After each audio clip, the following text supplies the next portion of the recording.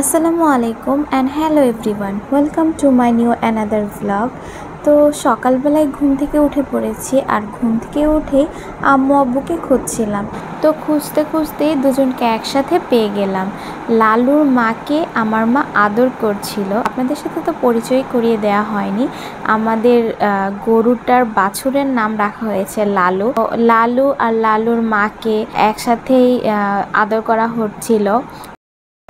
আর এইদিকে আমি ঘুম থেকে উঠে আসতে না আসতে আবদুল্লাহ আর আবদুল্লার বাবা দুজনেই চলে এসেছে আমার পেছনে পেছনে। আবদুল্লাহ গরু দেখতে খুব পছন্দ করে আর ও বাছরটা দেখে খুবই আনন্দ পাচ্ছিল। আর এই যে আমার বাবা চলে এসেছে আমাকে দেখানোর জন্য কতটুকু দুধ কালেক্ট করল। তারপরে আব্বু চলে গিয়েছিল উঠানে। তো আমিও আব্বুর পিছনে পিছনে গেলাম। আব্বুর সকালবেলার টাইমটা এত বেশি বিজি থাকে।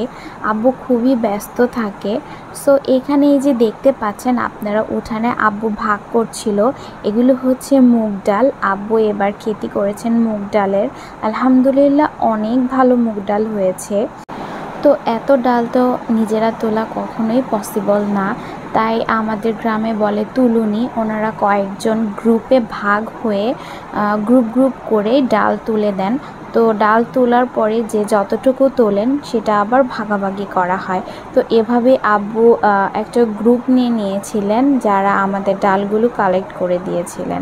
অ্যান্ড তারপরে দুপুরবেলা আমার ফুপুর বাসায় দাওয়া ছিল, ওখানে গিয়ে খাওয়া দাওয়া করলাম।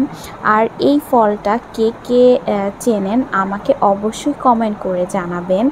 এই ফলটা আমাদের গ্রামের বাড়িতে বলে ডোয়া। আমার বেশ পছন্দের একটা ফল তাই ভাইয়া দেরি না করে আমাকে এনে ফলটা দিয়েছিল খাওয়ার জন্য। তো তারপরে খাওয়া দাওয়ার পরে আমরা একটু হাঁটাহাঁটি করছিলাম আর এই যে ছাগল আর ছাগলের বাচ্চাগুলো দেখছিলেন, এটা আমার একটা নানার।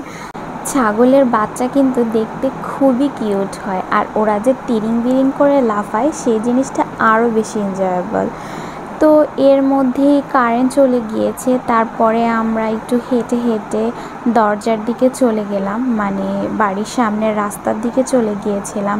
আর এই যে আবদুল্লাহ, নানা ভাইয়ের কাঁধে চড়েছে।